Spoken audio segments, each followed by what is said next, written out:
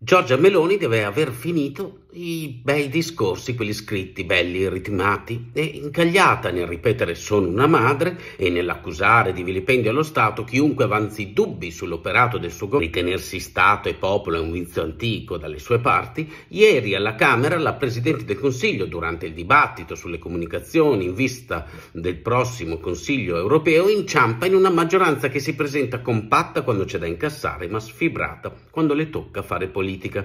La fotografia dell'inizio della seduta non ha bisogno di analisi. Ai banchi del governo mancano tutti i ministri leghisti, dopo l'imbarazzo di Salviniani già al Senato, e a parlare per la Lega si scrive solo il deputato Stefano Candiani. Le parole del capogruppo al Senato, Massimiliano Romeo, risuonano ancora.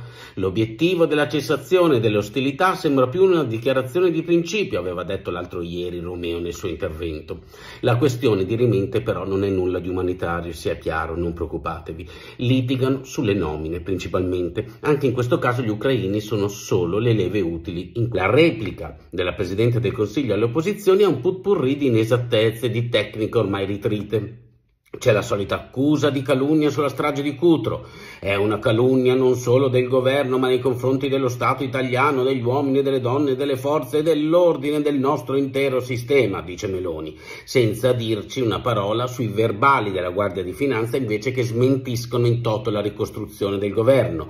C'è il vittimismo d'accatto siamo stati lasciati da soli a fare questo lavoro a volte fuori dai confini nazionali e addirittura la riesumazione del blocco navale che ora Meloni vorrebbe rivendere come operazione umanitaria europea.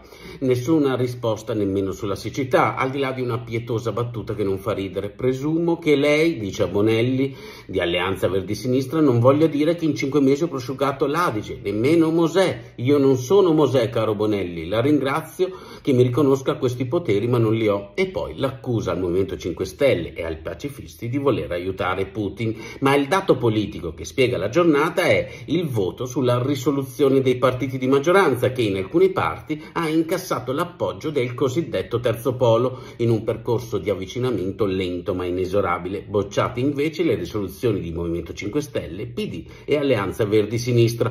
C'è un'ultima curiosità, Giorgia Meloni è uscita dall'aula poco prima dell'intervento della Lega. Anche questa sarà una coincidenza o un vilipendio. Peggio.